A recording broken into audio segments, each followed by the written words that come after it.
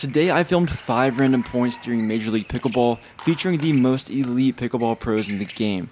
Studying the gameplay of people better than you is an excellent way to improve because there is always something to learn no matter what happens. So let's hop right into the first point. In this first point we have JW and Gabriel Tardio versus Dekel and Kyle Yates. And this is an interesting one because of the speed up that's about to happen.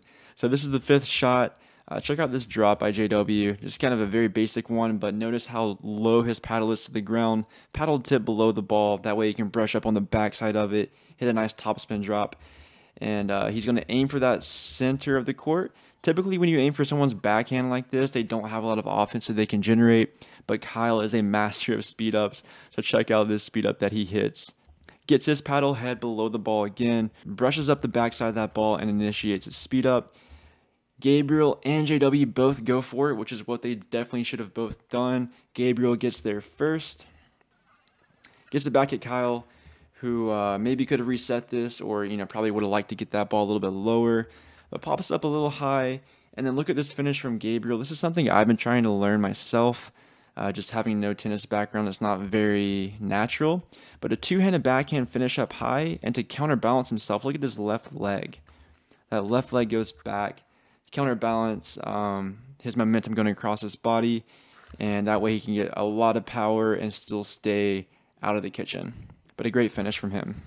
Puts it away. The second point of the day is Julian Arnold and Thomas Wilson versus Stefan and AJ. Uh, and this was another really interesting one. First of all, look at AJ's inside out forehand roll. Gets the paddle tip below the ball, but he also makes his wrist rotate out to the right so he can hit this ball inside out instead of usually how he would hit it down the middle. He hits it to the outside of the court, uh, but Julian is a master of the game. Resets that ball super clean. And let's see what happens after this. AJ, in classic AJ fashion, gets super low to the ground speeds up this ball right at Thomas, his cousin. Uh, gets it kind of high, so Thomas is able to smack that ball back down at them with a lot of force. But defended pretty well by Stefan. Kind of jammed him there, but he did a good job of getting his paddle on the ball and hitting it into a nice spot. AJ then hits a dink cross court with his very unique style. Once again, love how low he gets to the ground. Something I definitely aspire to do is get this low and dinking. Just super athletic, steering right at the ball and hitting a very well executed shot with an extremely small motion. Play continues here, and this is one of AJ's special shots. So the ball's hit to his left side. Instead of taking it as a backhand, he'll run around to his forehand and then hit an inside out dink really hard cross court. But look what happens here. Check this out. Super simple winner from Julian. And uh, let's break that one down. Because AJ ran around this ball, he's actually now off the court a little bit. Julian gets to his backhand. Stefan goes for an Erne. And Julian, recognizing the situation, hits one of the most beautiful two-handed backhand speed-ups I've ever seen. Look at that. Such a small motion.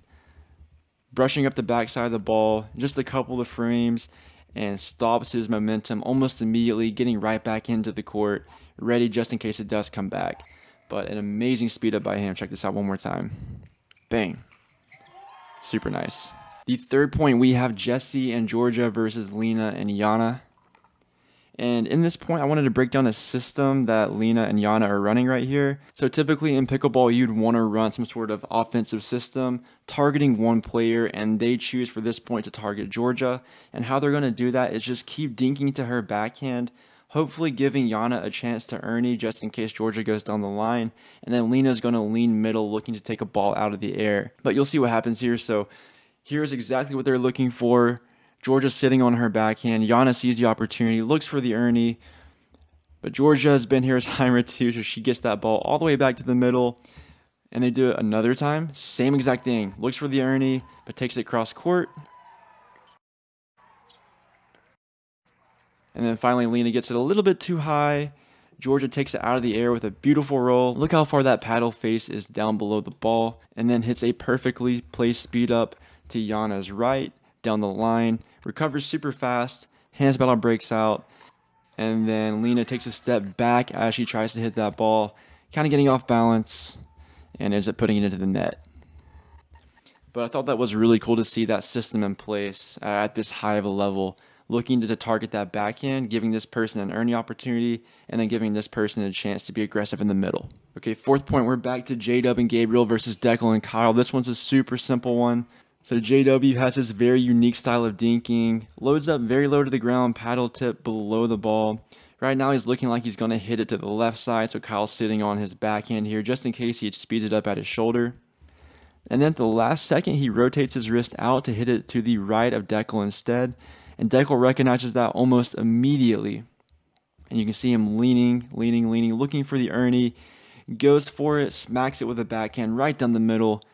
But what I really love about this point is Dekel loading up on that left leg, getting ready to get back into the point just in case that ball comes back.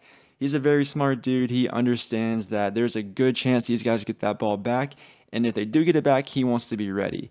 There's a lot of times when I'm hitting Erne's where I'll go for it and then I'll just end up off the court for like a solid second or two rather than getting right back into the play.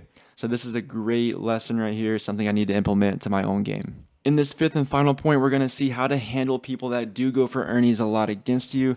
We have Jay DeVilliers and Simone Jardim versus Callie Smith and Andre Daescu. And Andre is one of the best earners in the entire game. He goes for them all the time. He's super long, very good at them, and we're going to see how Simone handles that.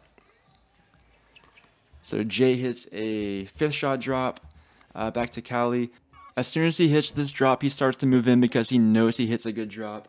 And then look how he split steps right there. He's now planted, ready to defend as soon as Callie's about to hit this ball hits it to his backhand. And once again, you're going to see a player get their paddle head below the ball.